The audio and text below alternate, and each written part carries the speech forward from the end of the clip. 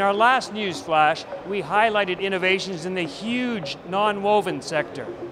The market for composites, however, is even bigger.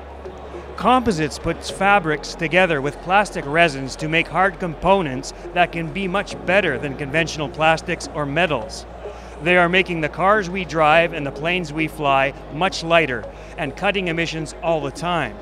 And they are all based on the textiles made on the machines here at ITMA 2019. We're here at Dilo Group with Johann Philipp Dilo. The 3D Lofter is an example to have a non-woven process to create 3D fiber structures used in automotive parts, molded parts, where you want to place the right amount of fiber at the right place in the area of the fleece in order to provide enough reserve for strain and stress in the car interior.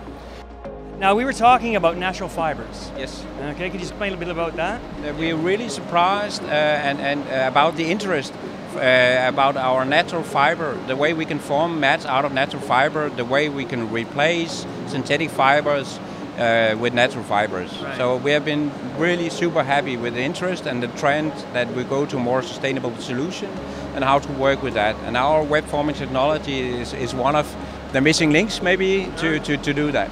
We're here at Yingyang Nonwoven Machinery talking to Luan, the chairman. Our mission is to provide the best value lumber machine in the world. This is a very high-speed volume machine and it runs up to 2000 RPM and the product from this machine is very high quality for, for automotive industry. Today we've taken a trip through non-woven and composites. We hope you enjoyed it.